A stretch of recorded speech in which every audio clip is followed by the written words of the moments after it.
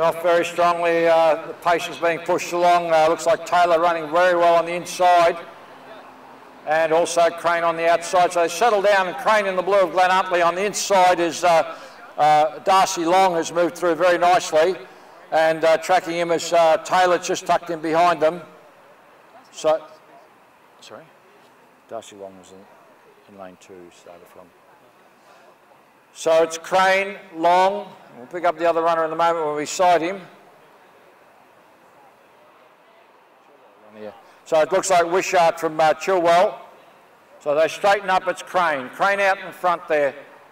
Very tightly packed field at the moment. It's Crane, followed then by the South Bendigo runner Britten. Uh, sorry, it's Wishart, then Britten, Long, Boxer runner Ballasone, O'Shaughnessy, Sutton. Uh, then we have the Knox runner there in uh, Beer. So Crane still leading there with uh, a little over 300 metres to go. It's Crane, followed then by Britten who's moved into next place. Gap then to Wishart, Balassonio, Shaughnessy. And Beer is followed then by Long, followed then by Sutton. So Wishart has uh, uh, called it a night, but still running very, very strongly. Here is uh, Timothy Crane from uh, Glen Huntly still holding that lead. So it's Crane, the Bendigo runner there, is running very strongly as Kyall Britten.